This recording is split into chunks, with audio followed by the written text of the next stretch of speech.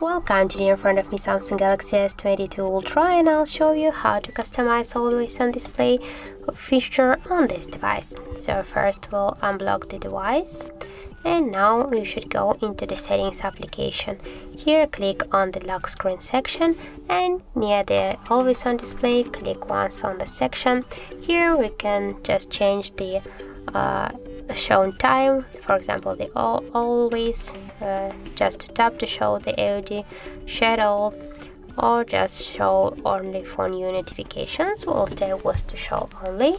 Here we can change the clock style. For example now we got this one. We can change it to just another ones. Also we can set here the calendar if you want. Uh, as can you see?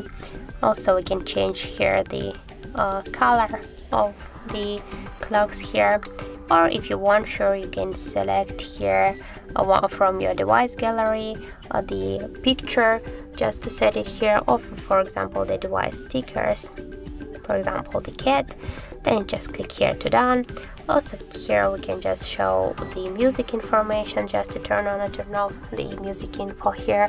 Also we can change the screenshot screen orientation from the portrait to the landscape or also to to enable or disable the auto brightness or if you want to just turn off auto brightness just to set the level of brightness here and so that's it that's how we can customize the always on display feature on our Samsung Galaxy S22 Ultra. So thank you guys for watching and if you found this video helpful don't forget to leave a like, comment and to subscribe our channel.